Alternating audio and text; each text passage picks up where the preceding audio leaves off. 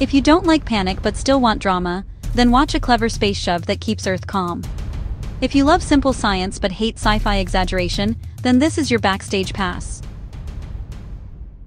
If you think asteroids need Hollywood explosions, then think again. Small impulse, big effect.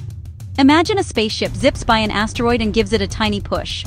Not by touching it, by creating a shockwave. The craft fires a short, controlled pulse of energy. Or it delivers a kinetic hit. That vaporizes a bit of surface. That vapor escapes like a mini jet. The recoil nudges the rock's path. It's Newton's third law on steroids. Eject mass one way, asteroid moves the other.